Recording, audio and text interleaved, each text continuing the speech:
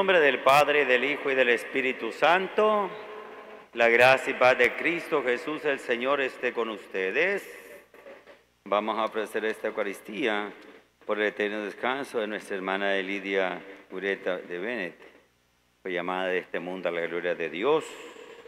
Con dignidad celebramos estos misterios santos en sufragio de nuestra hermana y pedimos perdón diciendo, yo confieso ante Dios Todopoderoso, ante ustedes hermanos, que he pecado mucho de pensamiento, palabra, obra y omisión, por mi culpa, por mi culpa, por mi grave culpa. Por eso ruego a Santa María, siempre Virgen, a los ángeles, a los santos, a ustedes hermanos, que intercedan por mí ante Dios nuestro Señor. Dios Todopoderoso, tenga misericordia de nosotros, perdone nuestros pecados y nos lleve a la vida eterna.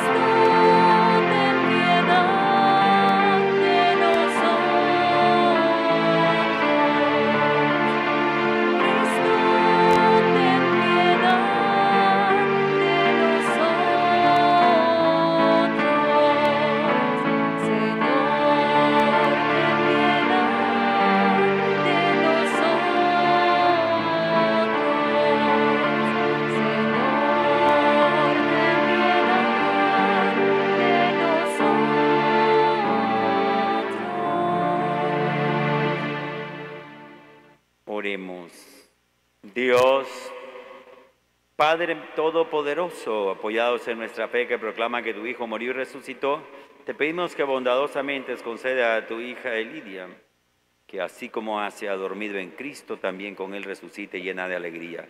Por Jesucristo nuestro Señor. Nos sentamos ahora para escuchar la palabra.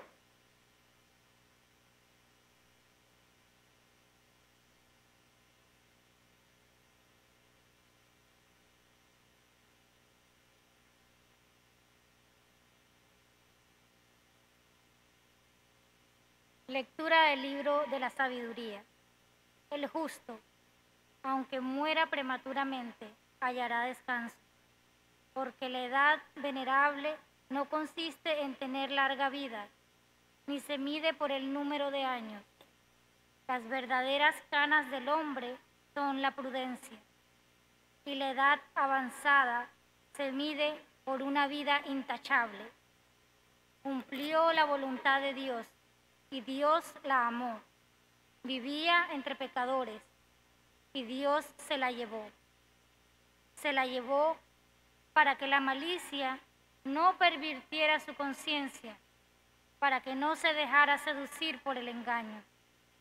Pues la fascinación del mal oscurece el bien y el vértigo de las pasiones pervierte a las almas inocentes llegó a la perfección en poco tiempo y con eso alcanzó la plenitud de una larga vida. Su vida le fue agradable a Dios, por lo cual el Señor se apresuró a sacarlo de entre la maldad. La gente ve, pero no comprende ni se da cuenta de que Dios ama a los justos y se compadece de sus elegidos. Palabra de Dios.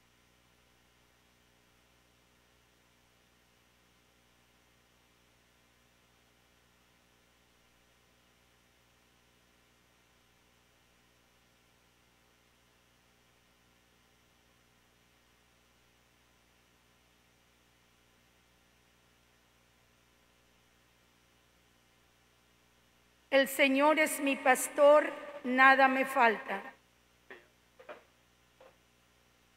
El Señor es mi pastor, nada me falta.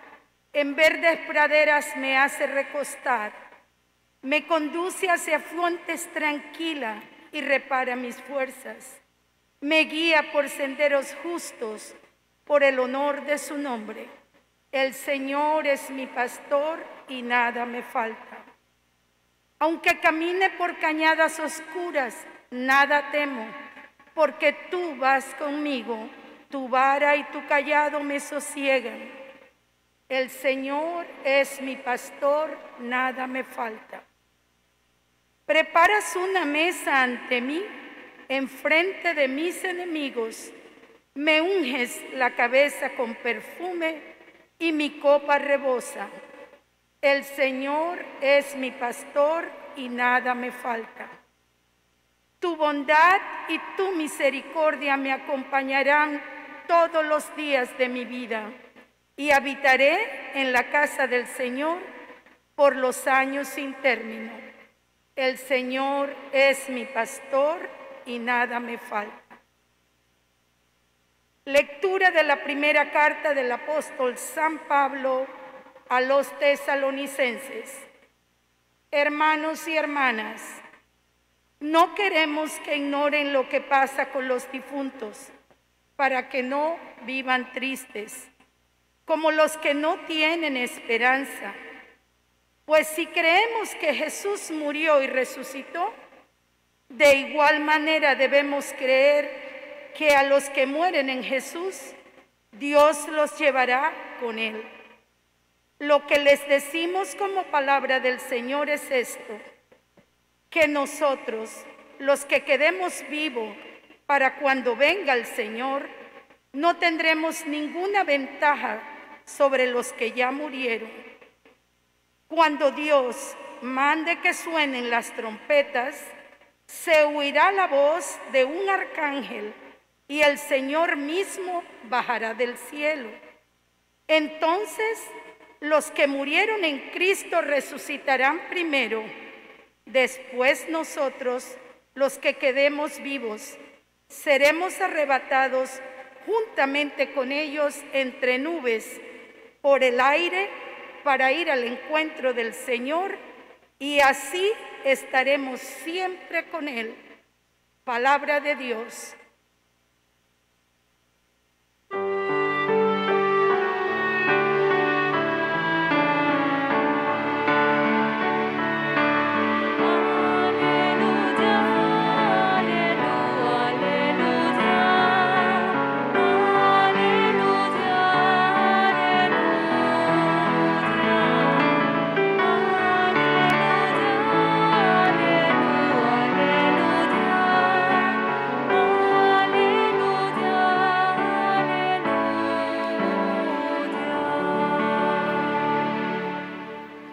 Señor esté con ustedes. Proclamación del Santo Evangelio según San Juan. En aquel tiempo Jesús levantó los ojos al cielo y dijo, Padre, quiero que donde yo esté estén también conmigo los que me has dado, para que contemplen mi gloria, la que me diste, porque me has amado desde antes de la creación del mundo. Padre justo, el mundo no te ha conocido, pero yo sí te conozco y estos han conocido que tú me enviaste. Yo les he dado a conocer tu nombre y se lo seguiré dando a conocer para que el amor con que me amas esté en ellos y yo también en ellos. Palabra del Señor. Pueden sentarse un momentito. Yo podría estar aquí hablando muchas cosas que yo conocí de Lidia. Pues los conozco hace como 20 años, más o menos, ¿verdad, Anthony? Como 20 años. Eh, yo había estado fuera un tiempo y gracias a Dios, le digo la verdad, gracias a Dios regresé. Porque para mí hubiera sido como muy duro saber que una cosa como esto hubiera pasado y no haber estado yo acá. Porque fue una persona que estuvo muy cerca, por lo menos a mí. No sé si al resto de los sacerdotes, pero a mí. Estando antes, cuando yo vivía aquí, Anthony era chiquito, ya, venían a la misa él, su mamá y su papá, ya, después él se fue a estudiar, después se casó y su papá y su mamá siempre venían a mi misa, etcétera, etcétera, ¿no? Después supe que papá ya no estaba con nosotros y así. Pero ustedes pues conocen más todavía que yo. Yo puedo hablar de lo que yo vi, de lo que yo experimenté, de lo que yo conversé y de los resultados que yo vi en su hijo. Pero les digo que me gusta porque en los primeros días de este año me tocó enterrar a tu tío. Estaba tu mamá, estaba tu tía, ya, y lo hicimos en la capilla. Y ella pues como organizaron una cosa muy linda, muy bonita. Uno no prevé que estas cosas puedan pasar. Ven, uno no se imagina. Uno la vida la vive todos los días como es y vivimos y hacemos lo que debemos. El último domingo que venía tu mamá, que fue unos días antes de que yo te viera a ti, yo entré para la misa y tu mamá estaba sentada allá. Y yo la quedé viendo y me quedó viendo y yo, pero ya iba yo rápido a la misa, como siempre. Yo la quedé viendo y me dice, hola, hola, hola, padre, hola. Y ya. Porque después de la misa, como uno se queda ahí adentro y hay que ir saliendo despacio y todo por la cosa de la pandemia, cuando salí ya no estaba. Yo creo que la próxima vez que la va a ver va a ser en el cielo porque ya. ¿Qué pasó? Eso fue un domingo. El martes vino tu tía, apurada, avisándome que tu mamá estaba mal y que algo tenía y que estaba mal. Pero yo tenía unas clases, tengo unas clases en la universidad y yo en ese momento iba a comenzar las clases. Entonces le dije al padre, eh, a ella, vamos a llamar al padre Eduardo para que se ponga de acuerdo y para que vaya. Bueno, al final pues siempre fue. Y después tú viniste un viernes, ¿te acuerdas? Viniste el viernes. Viernes. Este viernes van a ser, a ver, el viernes que pasó fueron ocho días. Viniste el viernes. ¿Ya? Y me llamaste cuando el martes, ¿no? O el lunes o el martes. Entonces las cosas son con la velocidad que Dios quiere y no con el tiempo que uno lo planea. Por eso les digo, yo podría hablar de virtudes y de muchas cosas que se cumple la palabra de lo que dice acá. Acá se cumple. En nuestra hermana se cumple eso, ¿verdad? Lo que dice la primera lectura, lo que dice la segunda lectura. ¿ya? Que sepamos de lo que es lo que sucede con los que se mueren. No es que se quedan en la nada. Sobre todo los que se mueren cumpliendo la voluntad de Dios, como lo han hecho tus padres. Amén. Y se cumple entonces lo que dice Jesús. Que yo los he amado a ustedes antes de la creación del mundo y los voy a seguir amando. Y una manera como Dios nos ama es llamándonos a su lado, cuando hemos ya cumplido nuestra misión. Entonces yo quiero que tú te un poco, tu prima, tu prima, ¿verdad? Tú eres hija de, yo soy hija de Clara. de Clara, ok. Bien, entonces que compartas un poco las palabras. Antonio al final de la misa nos va a compartir también pues, mucho de lo que él tiene en su corazón y de su experiencia. Pero sí me gustaría ver cómo es percibido, porque yo sé que tu tía fue una mujer de toda la familia, no solo de su hijo y de su esposo, fue de toda la familia, eso sí lo sé, porque ella me lo conversaba a mí. Cuando conversábamos, que conversaba tan sabroso y tanto, yo sé, yo percibí. Ella siempre fue una mujer como de toda su familia. ¿verdad? Correctamente, Entonces yo quisiera un poco que compartas esto que nos traes Muchas escrito. Gracias. Se reviste de fuerza y dignidad y el día de mañana no le preocupa.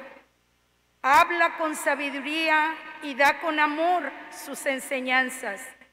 Está atenta a la marcha de su casa y jamás come lo que no ha ganado. Su hijo y su esposo la alaban y le dicen, Mujeres buenas hay muchas, pero tú eres la mejor de todas. Proverbios 31 del 25 al 29. Tía Ili, las páginas que escribiste en tu vida fueron insuperables y para mí fue un privilegio tenerte en mi vida y una gran bendición poder llamarte tía.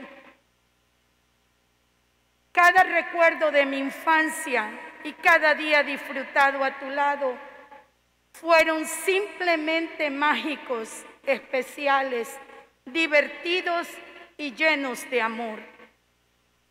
Vienen en mi memoria esos paseos que hicimos junto a ti a la playa de las Lajas los domingos, cuando nos llevabas a Boquete, a los que tú llamabas nuestros viajes a Tucson.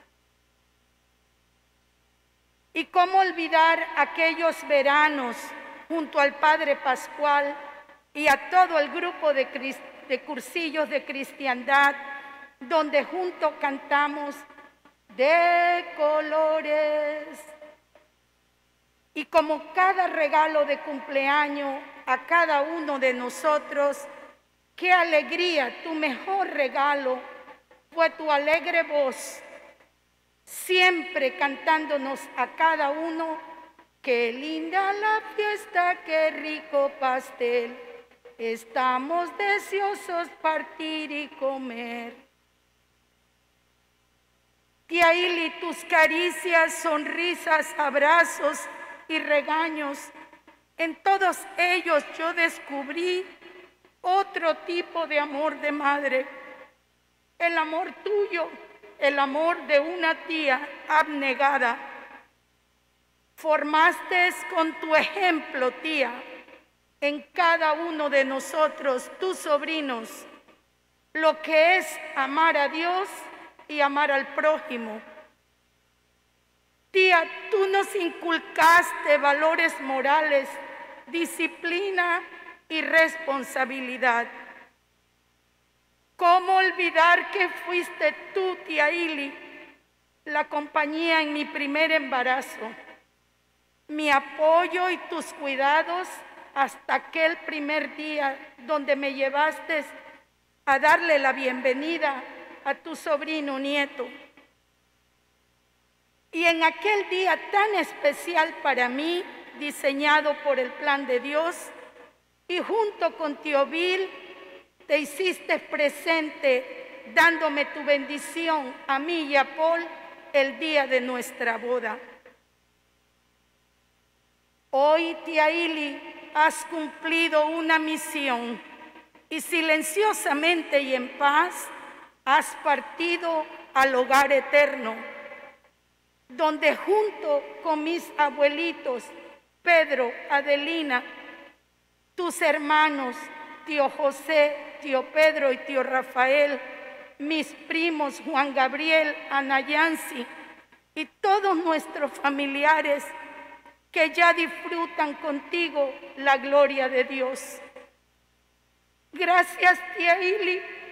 No hay palabras que puedan decirte gracias, gracias, tía, por todo tu cariño y tu legado. Tus enseñanzas vivirán en mi corazón hasta que nuevamente nos volvamos a ver allá en el cielo.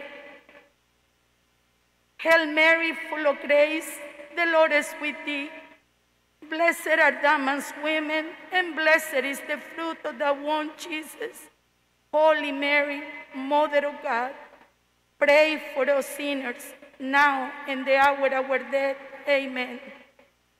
Dios te salve María, llena eres de gracia, el Señor es contigo. Bendita tú eres entre todas las mujeres y bendito es el fruto de tu vientre Jesús. Santa María, Madre de Dios, ruega por nosotros pecadores, ahora y en la hora de nuestra muerte. Amén. Muchas gracias, Padre. Solo resalto para continuar con el canto del ofertorio, ¿eh? esto que señala nuestra hermana aquí. Disciplina, responsabilidad, constancia. Estas son las cosas para ser un buen católico. Todo lo demás sobra. Todo lo demás sobra. Mucho rezo, mucho todo, pero si no hay esas tres cosas, no se hace nada en la vida. Cuando uno cumple con el deber y cuando uno hace lo que debe hacer, uno sabe salir de este mundo como salió ella, sin molestar a nadie, tranquila. Hasta para eso, una mujer siempre oportuna, siempre en el momento oportuno, como bien está expresado ahí, y como bien lo dice la escritura hoy, en el momento oportuno, hasta para morirse oportuna. Qué belleza porque tiene un único hijo, no tiene 10, 20 hijos, ni el montón de sobrinos que hubieran tenido que andar acarreando con ella para acá, para allá y molestando. No, no, no, no, no. Generosidad y sin ningún egoísmo. Hasta para eso. Ojalá hubiera muchas personas así, porque entonces otro mundo tuviéramos. Y que aprendamos, ¿verdad? Aprendamos. ¿Ya? Los que seguimos y los que quedamos no solamente nos consolemos con palabras de fe, sino que aprendamos de estas experiencias de fe. que nos hablan de lo que es la verdadera santidad, que es, como decían en el Evangelio, decían hoy de Jesús en la mañana, que es vivir en la verdad. Hacemos ahora nuestro canto del ofertorio.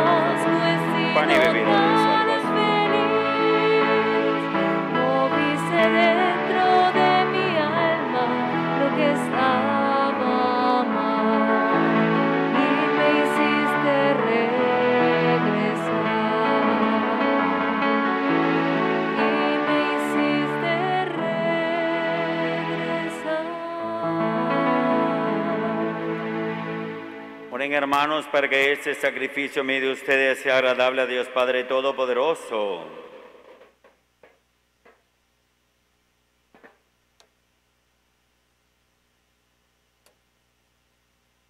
Te ofrecemos, Señor, este sacrificio por la salvación de tu hija Lidia y confiados en tu amor y clemencia, te pedimos que en que te ha reconocido como Hijo y Salvador, te encuentre ahora como juez amoroso y de misericordia, que vives y reinas por los siglos de los siglos. El Señor esté con ustedes. Levantemos el corazón. Demos gracias al Señor nuestro Dios. En verdad es justo y necesario nuestro deber y salvación. Darte gracias siempre y en todo lugar, Señor Padre Santo, Dios Todopoderoso y Eterno, por Cristo Señor nuestro. Él es la salvación del mundo, la vida de los hombres, la resurrección de los muertos. Por Él los ángeles y arcángeles se proclaman en el cielo y nosotros nos unimos a sus voces cantando tu alabanza.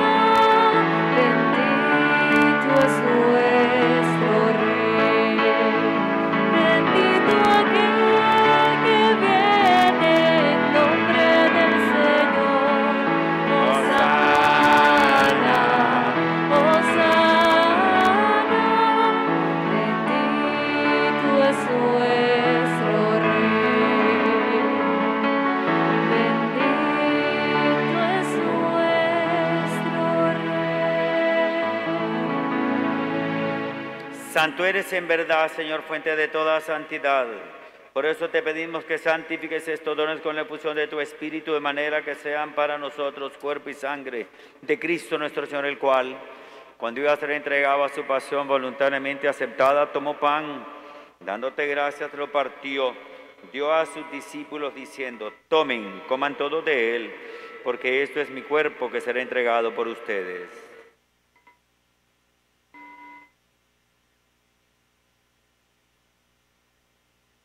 Del mismo modo, y acabada la cena, tomó el cáliz y dándote gracias de nuevo, lo pasó a sus discípulos diciendo, tomen, beban todo de él, porque este es el cáliz de mi sangre, sangre de la alianza nueva y eterna que será derramada por ustedes y muchos para el perdón de los pecados. Hagan esto en conmemoración mía.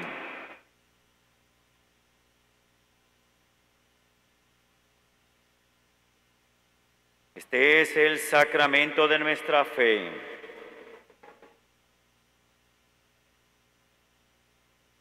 Así pues, Padre, al celebrar el memorial de la muerte y resurrección de tu Hijo, te ofrecemos el pan de vida y el cáliz de salvación. Y te damos gracias porque nos hace dignos de servirte, estar ahora aquí en tu presencia. Con humildad te pedimos que el Espíritu Santo congregue en la unidad a cuantos participamos del cuerpo y sangre de Cristo. Acuérdate de tu iglesia extendida por toda la tierra con el Papa Francisco, nuestro obispo José Domingo, y los que en ella cuidan de tu pueblo, la lleves a su perfección por el amor. Acuérdate de tu hija Elidia, quien has llamado hoy de este mundo a tu presencia. Concéle que así como ha compartido la muerte de Jesucristo, con él comparta también ahora la gloria de la vida eterna. Y de nosotros aquí presentes ten misericordia, para que con la Virgen María, Madre de Dios, San José, los apóstoles, y cuantos vivieron en tu amistad a través de los tiempos, merezcamos por tu Hijo Jesucristo compartir la vida eterna y cantar tus alabanzas. Por Cristo, con Él y en Él, a ti Dios Padre Omnipotente, en la unidad del Espíritu Santo, todo honor y toda gloria por los siglos de los siglos. Fieles a la recomendación de Jesús, decimos como hijos de Dios, Padre nuestro que estás en el cielo, santificado sea tu nombre, venga a nosotros tu reino, hágase tu voluntad en la tierra como en el cielo. Danos hoy nuestro pan de cada día, perdona nuestras ofensas, como también nosotros perdonamos a los que nos ofenden. No nos dejes caer en la tentación y líbranos del mal. Señor, líbranos de todos los males y concédenos la paz en nuestros días, para que, cuidados por tu misericordia, vivamos siempre libres de pecado y protegidos de toda perturbación mientras esperamos la gloriosa venida de nuestro Salvador Jesucristo. Señor Jesucristo, que dijiste a tus apóstoles, mi paz les dejo, mi paz les doy. No tengas en cuenta nuestros pecados, sino la fe de tu iglesia, y conforme a tu palabra, concede la paz y la unidad. Tú que vives y reinas por los siglos de los siglos, la paz del Señor esté siempre con ustedes. Nos damos un gesto de paz.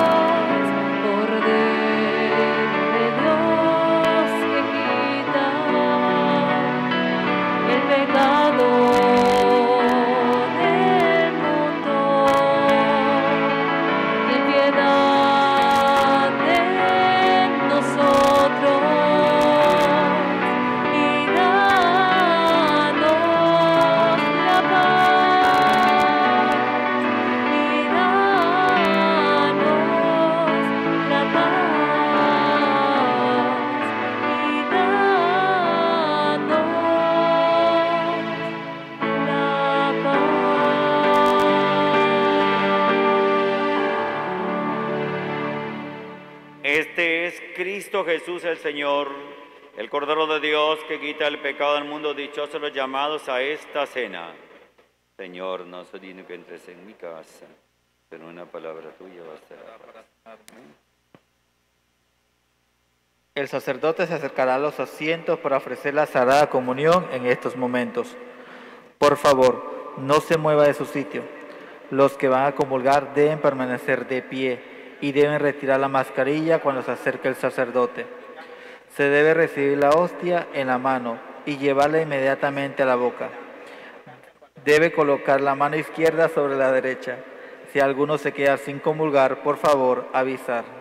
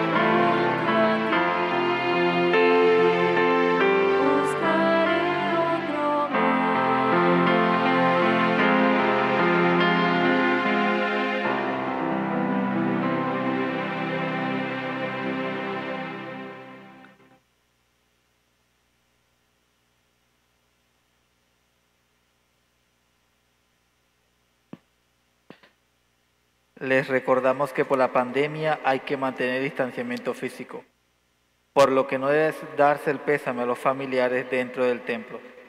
Tampoco se tiene permitido leer resoluciones de duelo. Se agradece entregárselo a los familiares. A la cripta solo podrán bajar cinco personas. Al terminar la Eucaristía les pedimos salir, ya que debemos iniciar el proceso de limpieza del templo. La salida será de forma ordenada y se saldrá por la puerta que está frente a la capilla del Santísimo. Les pedimos orden. Por favor no se queden conversando ni dentro ni fuera del templo.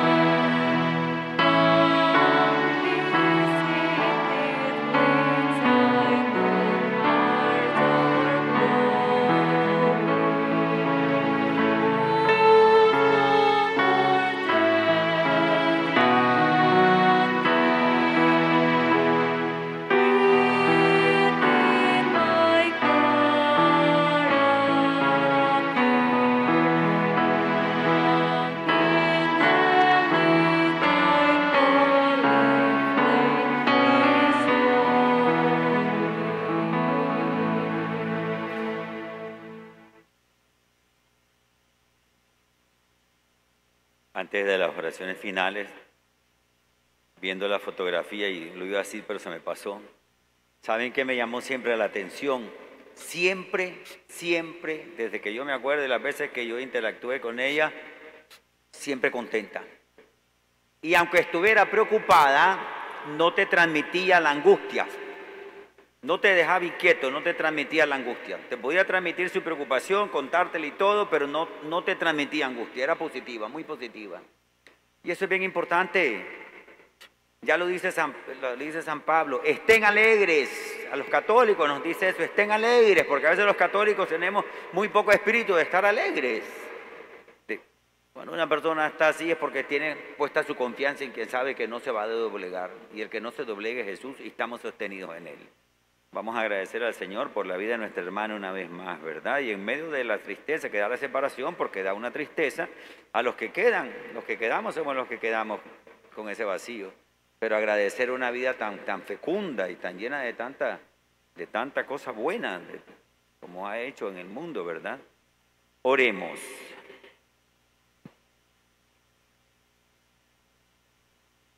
Señor Dios nuestro, ya que tu Hijo nos dejó el sacramento de su cuerpo como alimento para el camino, concédenos que nuestra hermana Elidia sea conducida al banquete eterno del reino de Cristo, el que vive y reina por los siglos de los siglos. Al paraíso te lleven los ángeles, a tu llegada te reciban la Santísima Virgen y los mártires y te introduzcan en la ciudad celestial. Amén. En tus manos, Padre de bondad, encomendamos el alma de esta hija tuya. Nos sostiene la esperanza que resucita con Cristo. Te bendecimos, Señor, y te damos gracias por los beneficios derramados en la vida mortal de nuestra hermana, signo de tu bondad y la comunión de los fieles en ti. El Señor esté con ustedes.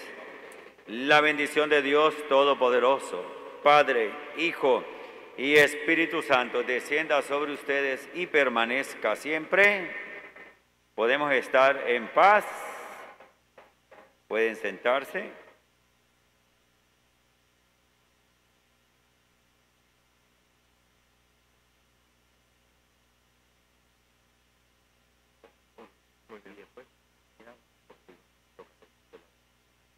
Acuérdate que pueden.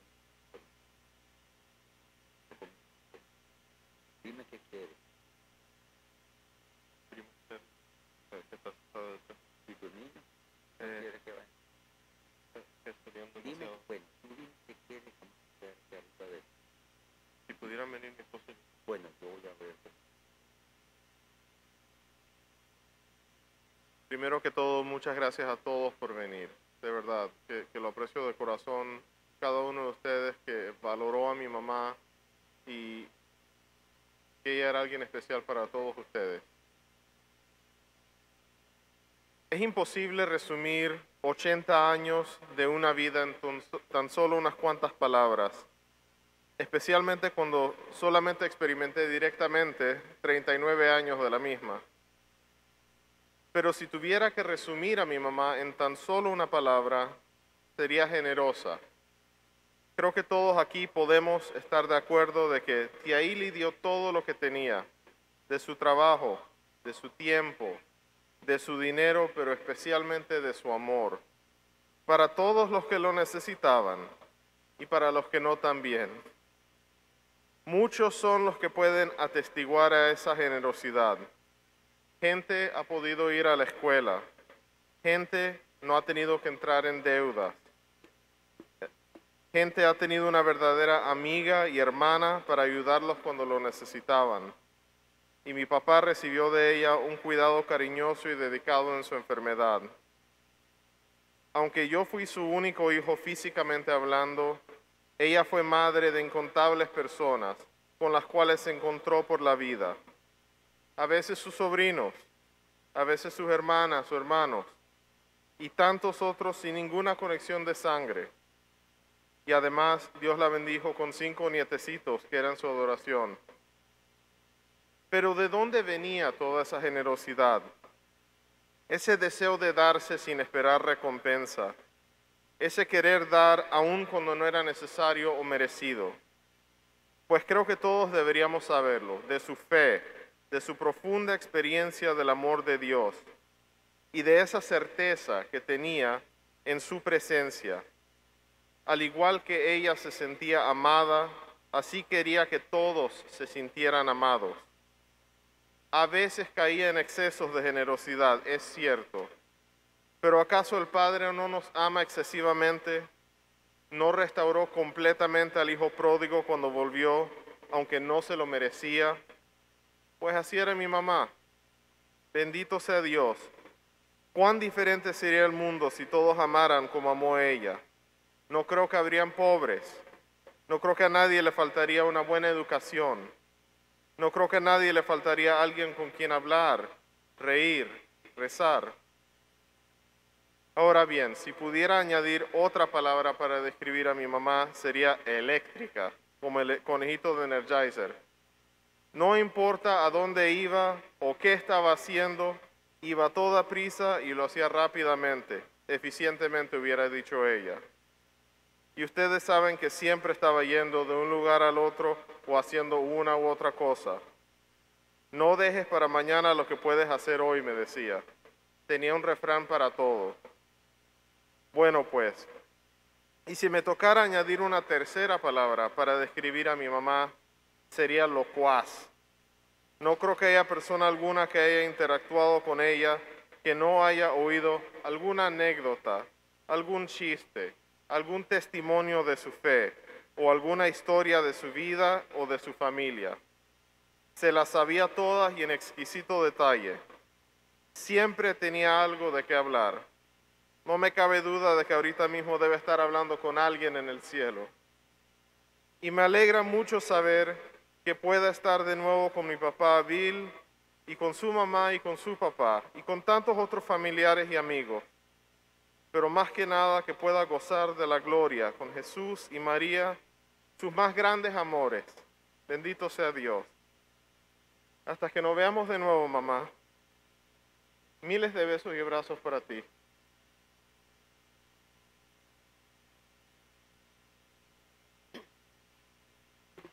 En nombre de la familia Ureta, en especial sus hermanas sobrevivientes, deseamos agradecerles a familiares y amigos su presencia en la vida de Ili, condolencias y amistad que nos ofrecen con mucho cariño por parte de nuestra hermana Ilidia Beatriz Ureta de Bennett. Solo para reforzar el amor que en vida sentimos, no solo por esa hermana que demostró desde muy pequeña ser una persona virtuosa, honesta, caritativa, humilde y con un corazón completamente ardiente, no solo para su familia, sino por las muchas personas que se cruzaron por su vida y especialmente con la bendición de Dios, que con la bendición de Dios le otorgó con su hijo Anthony y sus nietecitos, a quienes dio su amor y vida siempre, hasta el último suspiro en esta vida, y que, y que continuará eternamente hasta que nos reunamos todos a su lado. Nosotros fuimos muy unidas por el amor y no habrá jamás en la vida palabras de agradecimiento suficientes para llenar lo que llevamos en el alma y corazón. Se puede visualizar a Ili entrando al cielo, rodeada de ángeles ante la presencia de Jesús y María, y todos los santos, ah, santos esperándola para que les cuente todas las historias y anécdotas que siempre contaba y repetía. Estamos muy contentos y felices de escucharla, puesto que allá no hay tantos sordos como en la familia. Hasta luego, adorada e inolvidable hermanita Ili, hasta que nos reunamos ante el trono de Dios. Muchas gracias.